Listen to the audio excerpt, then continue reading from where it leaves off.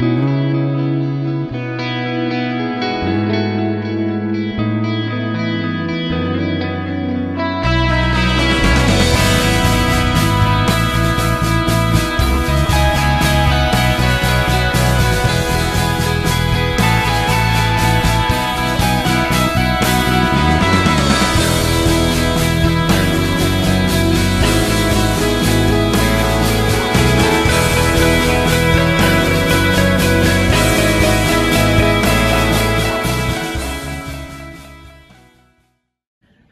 Wallkill, it's Ariana Bartolone and I'm here for the final installment of WSBC from home. Let's jump right into it and head over to Braden Wood with some general announcements. I'm Braden Wood and I have some general announcements. If you are taking any college or advanced level courses next year, please be sure to get the necessary information for any summer assignments you may have. If you're not sure who to contact or whether a class has summer work or not, contact the guidance office. Please be advised that due to school closure, all students will be keeping their Chromebooks over the summer. All accounts will be disabled as of June 26th. Devices remain your responsibility. Prior to storing your Chromebook, please be sure it's fully charged so it sustains its battery life. Thanks Braden. Now here's Casey Felicella with more announcements for the class of 2020. Hey Wallkill, Casey Felicella here with some announcements for the class of 2020. The senior goodbye video will be released this week. Be on the lookout for announcements about it as well as where to find the link to access it. The virtual graduation website is still open. Here you'll be able to receive messages from family, friends, and teachers, as well as post to one another's pages. The deadline is Monday, June 22nd. Thank you Casey. Now we have Kayla Miller with an additional announcement for the seniors. Hey 2020, Kayla Miller here with a special request for our class. Please help us with a fun video project and FYI, this project has nothing to do with actual graduation, just something WSBC put together.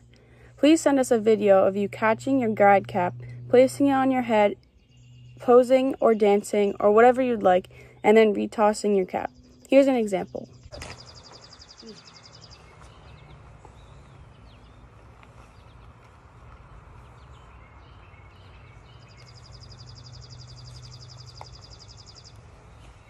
Please send your videos to seniorgoodbye at gmail.com by Thursday, June 25th.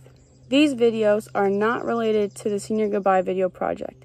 It's a separate project, but yes, we are still using that email. Can't wait to see your videos. Thanks Kayla. And last but not least, we have Allison Giroux and her final special guest back to SGWN. Take it away, Allie. Hello, Wallkill, and welcome back to the final episode of Some Good Wallkill News. I am Allison Giroux, and I am back to bring you the latest uplifting and feel good stories from the Hudson Valley and beyond. Before we jump into this week's episode, let's head over to our guest correspondent with the weather. What do you see out there, Miss Pelosa? Hi, and now for the weather. Since this year has been so unexpected, I think it's really important going into the summer that we prepare for the unexpected. So, enjoy your summer and expect the unexpected. Wow, she looks really prepared. Looks like these times have taught us all to be ready for anything. Thank you, Miss Pelosa. Now, let's head over to our first story. Libraries may seem like a dying concept with all the devices and technological advances our society has made, but that is not true. Many local libraries are using their resources to help people through these tough times.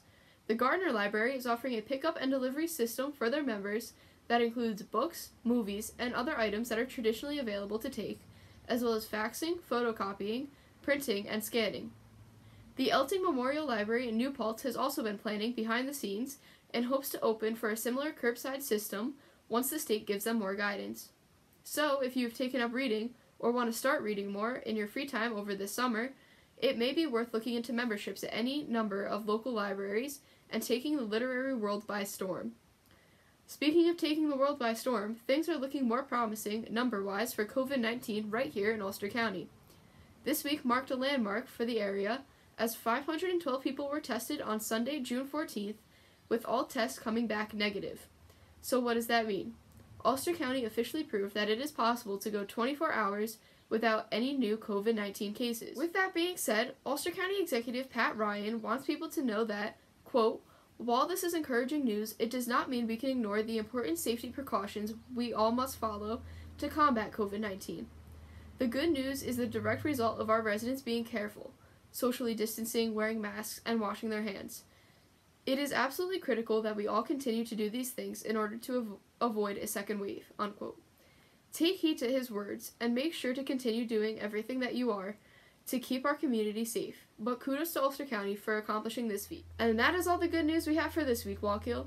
Thank you again to Mrs. Pelosa for being our guest weather correspondent for this week. I would also like to thank all of the other members of WSBC for making this entire from home broadcast possible. But most importantly, I would like to thank Mrs. Murphy. Without you, Murph, none of this would be possible, and WSBC and journalism as a whole just wouldn't be the same. You're the best, and thank you for everything that you are doing. Underclassmen, best of luck next school year, and seniors, though this won't be the last time I see all of you, best of luck in your future endeavors. Stay healthy, stay safe, and most importantly, stay positive, Wallkill. Have an amazing summer. Back to you, Ariana. Thanks, Allie. And that's all the news we have for this year, Wallkill. Thank you for tuning in in our broadcast from home and for your support throughout the year. For the final time, I'm Ariana Bartolone. I'm Casey Felicella. I'm Allison Giroux. I'm Kayla Miller.